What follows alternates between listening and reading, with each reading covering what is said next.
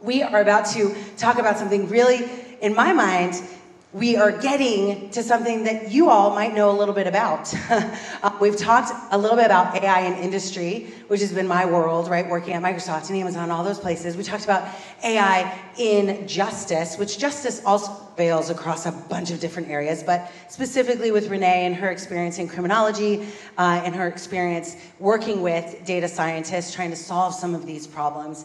Um, and so now it's finally time to talk a little bit about how this touches you, maybe directly in education. So I am going to bring up Charlotte. She's going to talk to you about AI education and give you a little bit about her, maybe history, a little introduction, tiny bit about how you got here. Um, so let's give her a big round of applause.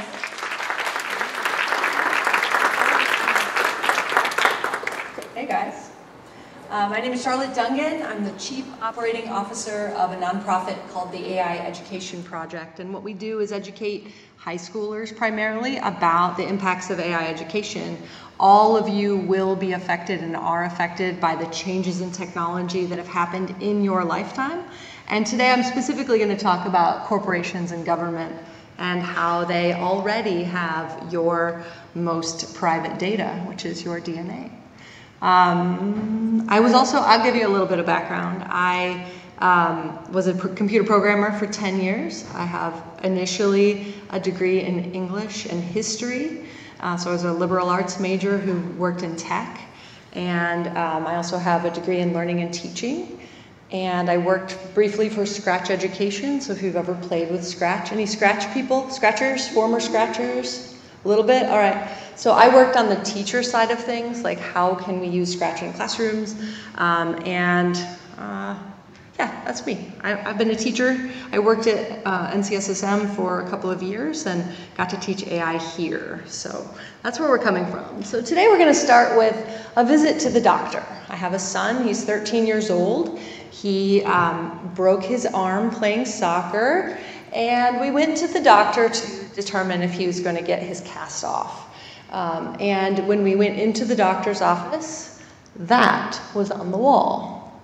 And that is an AI device that can record audio and video. Anybody really excited to see audio and video in your exam room? Um, there's a little sign on the wall that, that gives you more information, but it just gives you um, a place to read about the research they were doing. There's not a way to opt out, and that QR code, it actually um, shows your patient information number. So I can't scan that and get more information, I just get a number. Am I cutting in and out a little bit? Am I okay? All right. Um, so this was on the wall, and the effect it immediately had was for my son to stop talking.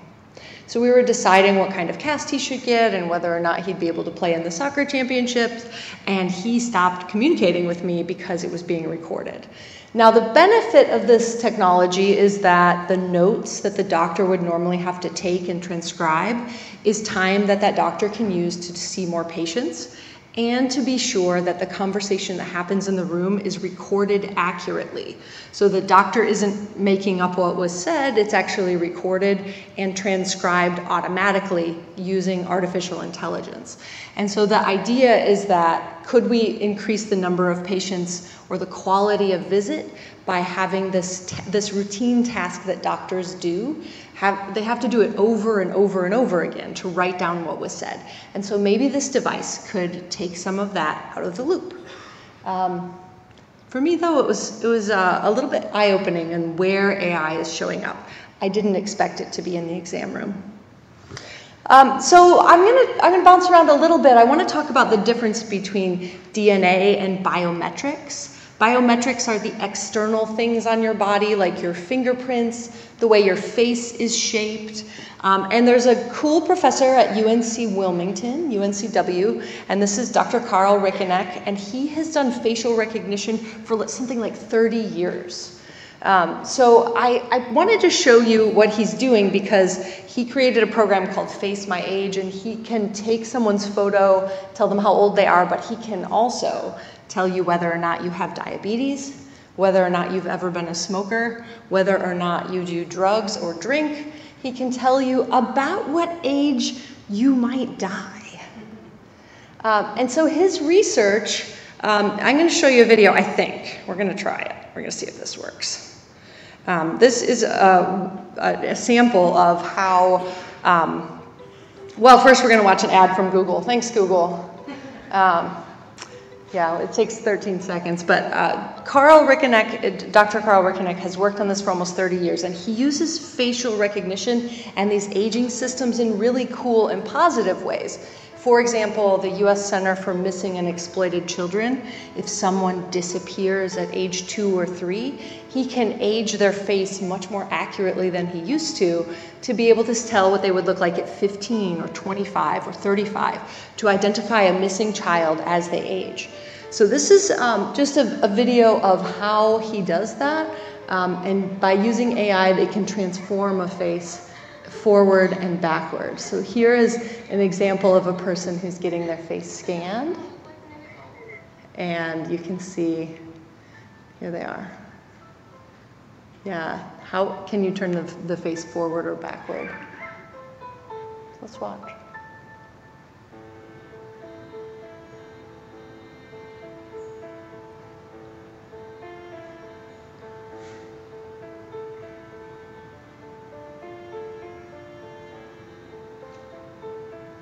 Anybody have Google Photos here?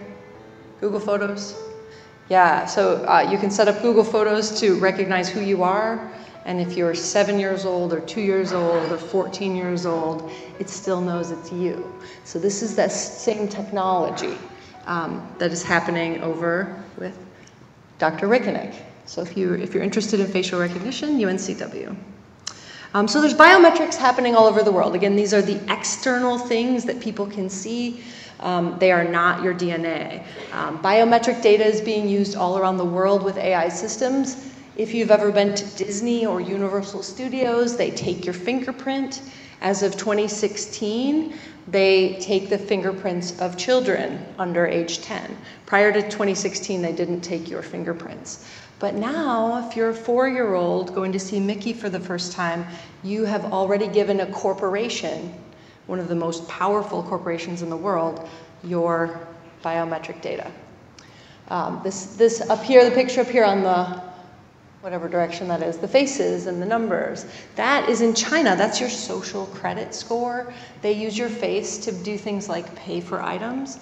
Um, but also, China uses um, your facial recognition and body profile to tell if you jaywalk. And if you jaywalk, then your score may go down because you're breaking the law. Uh, the social credit score of a popular TV personality was they were pasted on the side of a bus, and their score went down and down and down because the bus kept driving around the block. And every time they were cited with their face was on the bus as jaywalking. Um, and sometimes these systems are hard to fight because there's no criminal system that you've entered into. You're simply, um, your data is being used and you don't have a lot of recourse. So that's one, uh, China's using social credit. Um, social credit impacts things like can you get an apartment? Can you ride on the train? Um, you can make your social credit go up in, in important ways like did you donate to charity? Your government is paying attention to that kind of thing. Are you being a good citizen? And mostly that score is tracked by your, by your face. Um, and then down here at the bottom, this is India. This is the airport uh, in India. You can see sort of the words behind. And um, India has the largest facial recognition database in the world, where they are um, using facial recognition to, you know, you can't travel without this, without being in the system. But more importantly, in India, there's a caste system, and some people have more or less rights. Um, and so an equity issue can be now managed by the state, whether or not you have access to certain places um, based on facial recognition. So your data externally, your fingerprints, your face, are in systems to allow us to access places and we don't necessarily have control over our data in those systems. Okay, so now we also have our data that's in our DNA and also our physical characteristics. This is a picture of uh, being able to predict people's race from their x-ray images. So if you go and you have that broken arm, maybe we can tell if you're Asian. Um, it's it's uh, controversial because obviously we want um, we know that there's bias in medical systems and how you look can affect what kind of care you get. It's also important to know your race and to consider some uh, external factors that may affect your health. So I'm married to a man who's Chinese, and people uh, who are of Chinese descent often have trouble with lactose intolerance. It means that after a certain age, you can't process uh, foods that are made from animal milk. And um, just by knowing his race, then he, we know that he's much more susceptible. About 98% of Asian people eventually struggle with lactose intolerance. So by knowing his race, we're able to have better health care. Um, but that the other thing can be true. We know that outcomes for black women who have babies are typically twice as uh, risky as a white woman of the same age. And so uh, we want to make sure that the, the health care that we give is not biased against people because of their race. And so the issues in uh, you know, race that we can identify from our medical scans needs to be protected in some way. The idea of these technologies is not that they're good or bad, but that they can be used for good or bad, and that we need to create control systems and processes and procedures and laws to keep them working for us, for our benefit, and not simply for um, convenience or profit for a corporation. This picture on the left here is of uh, breast tissue. You can see the beginnings of a cancer. It's very, very small. So a radiologist may have difficulty in identifying that sample, especially if they've looked at 150 other samples the same day. And so sometimes the best thing we can do with AI is to have a human plus AI. If the AI can recognize a few cases where it might be worth a closer look by a human, but it can screen out the things that are definitely not cancer or definitely cancer and, and leave those questionable cases to a human, then we get better outcomes than if we have human alone or AI alone. And AI is transforming biology and medicine. This uh, headline says it will change everything. DeepMind's AI has made a gigantic leap in solving protein structures. A good friend of mine, she is uh, a neuroscientist. She has her PhD, and her whole PhD th- thesis was based on mapping three proteins figuring out how three proteins could fold, and she has a doctorate from that. And she's really important in, in, it was really important data in figuring out how brain chemistry works so that we can solve diseases like Parkinson's, Huntington's disease, et cetera. And so when we use AI, recently we figured out how to model the protein folding of all known proteins in the world. So it used to take a person dedicating 20 years of their career to use that information. And now we have a program that can do all of that initial work right now. And how transformative that is for us to have better medicines and therapies for people who have genetic conditions. So if you are thinking about going into medicine or research or you, you want to solve some problems with, with uh, healthcare, um, a lot of the work is started for you. There's a lot more clinical work to be done. Um, AI is also transforming what we can do to address single mutation diseases. Um, so, sickle cell anemia is a very painful condition where your red blood cells fold like a sickle instead of being round. They essentially become pokey, it hurts, and it can cause a lot of internal damage inside your body. Another um, chronic issue is cystic fibrosis. When I was a kid, um, the, the life expectancy for a person with cystic fibrosis was 18 years old. And now it's more than doubled. The therapies have gotten better and better and better. And with AI, by using technology to solve some of these problems, right now with sickle cell anemia, we have um, AI helping to manage pain. They're managing the chronic pain that happens with sickle cell. And in cystic fibrosis, you can see they have a whole conference related to AI and medicine that is, is talking about precision medicine. That means medicine for you, for your body specifically. It's tailored to your genetics and your DNA. All right, Slido time. If you uh, are have have you know had the post lunch jitters and you have um, lost a little bit of um, you're falling asleep here, we're going to do a little, hopefully, a little Slido. If you guys want to go to Slido, I tried to um, bring it up on the screen. It's ELC 2022. That's all right. We'll just bring it back up here. It's no problem. Okay, so Slido. You're going to go to Slido wherever you did before, ELC 2022, and I want to ask you a question. The Slido question is Have you ever given a, or done one of those DNA tests? Like, yes. Have you taken a DNA test from a popular company such as Ancestry.com, 23andMe, MyHeritage? It doesn't have to only be one of those. If you've done it yourself, say yes. If a parent has done it, choose the second option. If a sibling or grandparent has done it, choose the third. If you have more than one person you know that has done it, choose the one that's closest to you.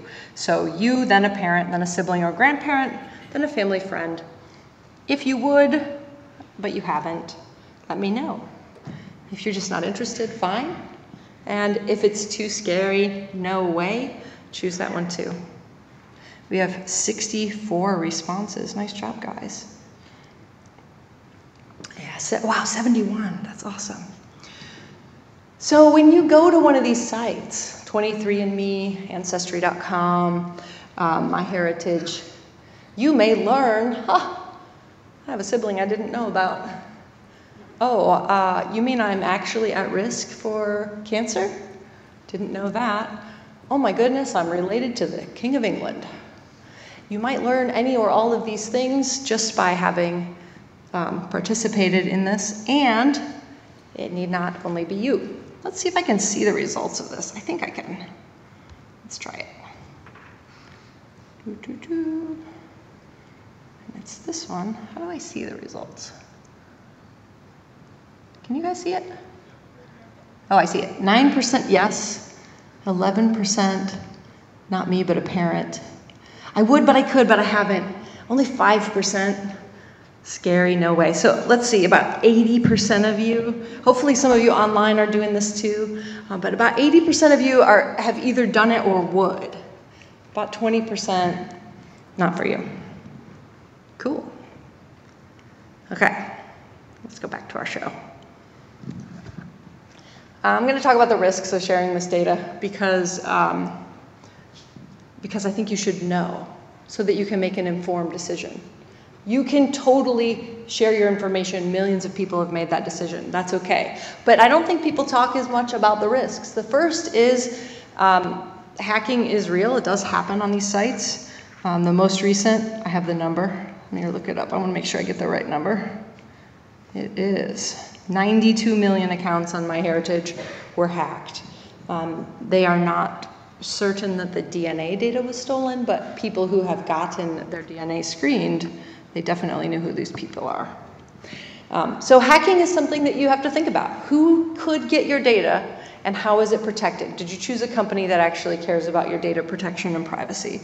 The second is if you're one of the people who have opted into doing this testing or someone in your family has, um, the companies profit the, from the data that you share with them because over 80% of participants, of people who choose to share their DNA, choose that they, it can be used for research.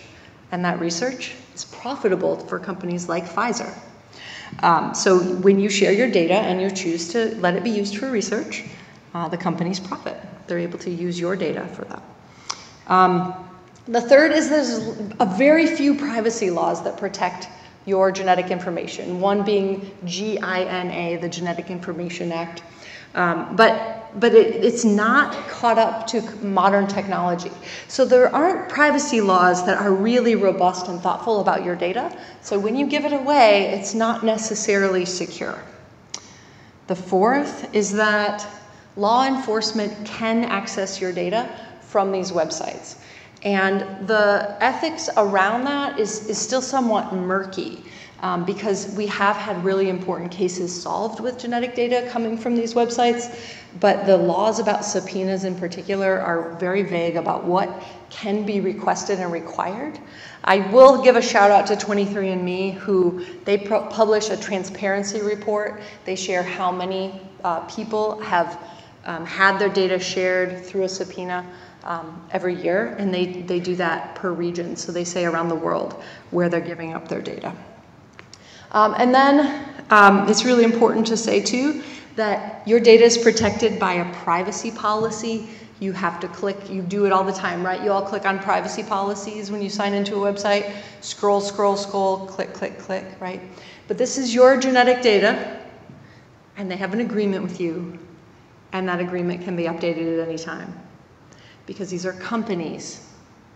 They can change their privacy policies. They can literally just let you know We've decided to share your data now. We've sent you an update in an email. If you would like to agree to this privacy policy, do nothing. Okay? So these aren't things, I'm not telling you not to go to these websites. But if you have a complicated family history, if people may come out of the woodwork if your family opts into these things, that might be a really good reason to opt out, to not choose to participate. If you're concerned about your privacy and the lack of laws, just wait. You don't have to do it now. Okay. But unfortunately, your data's already been collected. So even if you didn't opt into a system like this, this is the picture of a newborn baby's foot. And in the United States, in all 50 states, babies are, this little card right here is a special type of paper that absorbs blood. And newborns are screened for genetic diseases that will be fatal without being caught. Um, so those are genetic, hormone, or, metabolic screening. That's what this is for. They also do a hearing test. Um, but the data is collected and your blood is taken as a baby um, for a really good reason because up to 10,000 babies a year might die from these really rare disorders where if you just simply get some help at the start, those babies can be saved and they can grow up to be normal, healthy adults. Um, so the, the test itself is really important, but what happens to the data is dependent on what state you live in. Or, to be more specific, what state you were born in because you were a baby. So in North Carolina, this data is, is kept and collected for up to five years. The state isn't allowed to keep it after five years. In some states, this data is collected and saved for one month. And in some states, it's saved indefinitely. In fact, there are records dating back 40 or more years where these cards have been cataloged and your DNA or the DNA of people that you know and care about have been saved. And they're using it. So sometimes we can track down the bad guys with data. This is a case from 2016. This was not a newborn, this was a woman who um, was sexually assaulted. She had a rape kit on file because she was assaulted, and the police used her genetic information to charge her with a theft, a retail theft. They used her genetic information that had been stored in a police database in order to charge her with a different crime. Now, thankfully, there was a judge who said, there's no precedent for this, and throughout the case. But I know we did a little bit about law earlier. I hope this is a neat intersection for genetics. Um, it's concerning though because the laws don't exist to protect your data if it goes into one system and can be moved to another system. So that's a great place for us to have some innovation even if you haven't shared any information, this, this is a very bad dude. He was one of the scariest people ever. He, um, he, he murdered people, he was a really bad guy. Um, he stopped when DNA sequencing and testing came to California. So he was a police officer and knew that he was going to get caught. And so he stopped. Um, so GEDmatch was the database that uh, identified him. And um, they weren't approached. The company was not approached, but they did use his information and they caught him. The important thing here is that it wasn't his DNA, it was a, a family member who had done a test and they tracked it back to him. So um, it says criminals out there know they can be tracked down this way. They're going to have to try to not leave their DNA at the crime scene. It's nearly impossible. So, previously, the only way we got genetic information from someone who was a criminal is by having them already in the system, and the good guys were protected. In this case, um, it, he, it didn't work for him. So now he's behind bars. Okay, so what can I do? Uh, this is a DVD of Gattaca, by the way. If you haven't seen it, it's out before you were born. It's a great movie to watch with your parents or, you know, on your own when you're bored. Uh, Gattaca is this, the idea of what happens when we take genetic information too far. Um, what can you do? First of all, value your privacy. Speak up or opt out when something seems off. The second thing you can do is to vote and to ask your representatives to create protections for genetic privacy. I know not all of you are 18, but it is around the corner, my friends. And so you will have agency to ask your representatives to think about genetic privacy law. There's a lot of emphasis right now on tech policy, and you can get this, these protections in place for yourself so that when you go to the doctor, your data stays yours.